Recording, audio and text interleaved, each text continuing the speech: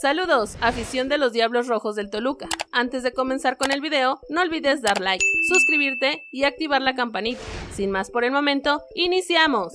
¿Areto Ortega pasará por el quirófano? ¿Cuánto tiempo estará de baja? Por lo hecho el semestre pasado con el Toluca, llegando incluso hasta la final del torneo, Areto Ortega se consagró como uno de los mejores defensas centrales de la Liga MX. Su importante físico y su precisión y puntualidad a la hora de realizar jugadas defensivas clave lo pusieron en la órbita de los Rayados de Monterrey en incluso de equipo de Europa quienes sondearon su posible fichaje, pero al final el jugador y el club decidieron continuar juntos en el camino. Sin embargo, ya en este inicio de torneo, el mexicano no ha sumado minutos en ninguno de los cinco partidos que ya ha disputado el Toluca. Al no haber reporte de lesión, se especulaba que el zaguero tenía problemas internos con el entrenador del equipo. Sin embargo, esa posibilidad está totalmente descartada luego de que la directiva de los Diablos Rojos comunicará que el mexicano pasará por quirófano y estará fuera de actividad casi hasta final de la temporada regular. El club específico que su jugador tiene un problema en el menisco lateral de la rodilla izquierda, mismo que requiere de cirugía. El tiempo de recuperación estimado es de 8 a 10 semanas como mínimo, más la etapa de readaptación deportiva. Posiblemente Arete esté retornando a la actividad pasada la jornada 12 o 13 para el cierre de curso, mismo que además no ha iniciado para nada de buena forma en favor del actual subcampeón del Estado de México, quienes no están sumando los puntos esperados de Ambris y compañía. Por otro lado, que fue de Vicente Sánchez, uno de los grandes ídolos de Toluca. La afición de Toluca y del fútbol mexicano no olvidaría a Vicente Sánchez, un referente de los Diablos en su época dorada. El uruguayo estuvo en Toluca del 2001 al 2008 y levantó tres títulos con el club. También tuvo una segunda aventura en la Liga Mexicana con el América. Comenzó su carrera con la institución Atlética Sudamérica, equipo uruguayo con el que debutó en 1999. Después pasó por el Tacuarembó y también por el Nacional. Gracias a su talento, los Diablos se fijaron en él y lo ficharon para el torneo de invierno 2001. Ricardo Lavolpe le dio la confianza y en poco tiempo Vicente Sánchez se convirtió en el socio perfecto de José Saturnino Cardoso. Basta decir que en su primera temporada Sánchez logró 10 goles. En Toluca ganó 3 títulos, el torneo Apertura 2002 y el torneo Apertura 2005. También consiguió la CONCACAF Champions League en el 2003. Luego de sus buenos años en México, se fue a Europa a jugar con el Schalke 04 en Alemania. En el 2010 regresó a México a jugar con las Águilas del América, pero no pudo brillar como lo hizo en Toluca y no ganó ningún título. Después se fue a la MLS, en donde jugó en equipos como Colorado Rapids, Houston Dynamo y FC Toros. Este último en donde se retiró en el 2021. En sus últimos años como futbolista, Vicente se asoció con otras figuras del fútbol uruguayo y abrieron un complejo deportivo en su país natal, al que nombraron Enfoque. Lo inauguraron en Montevideo y el proyecto fue un éxito, tanto que en apenas en el 2022 abrieron un segundo centro deportivo. A su vez, Sánchez fue auxiliar institucional en Pachuca durante el 2022, por lo que trabajó junto a su compatriota Guillermo Almada. Pese a las expectativas, su paso por los Tuzos duró apenas un par de meses. En el